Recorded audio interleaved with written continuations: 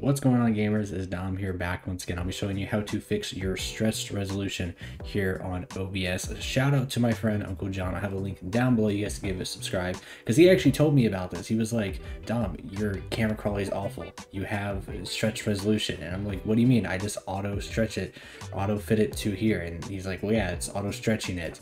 So here's what's been going on. So if you look at your video capture device and you can actually double left click it here and you see the resolution FPS type, you want to set that actually to custom and set it to the resolution of the camera. Here it's 1920 by 1080. But by default, when I did the device default, you can see, boom, right there. I'm stretched, I'm big, I'm buff.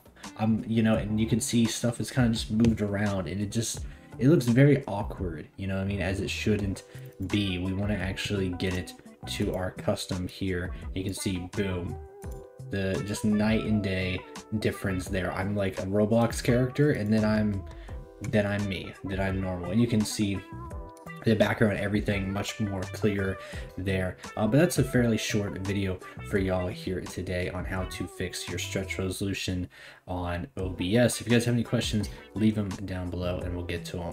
Other than that, everybody, take care. Peace out.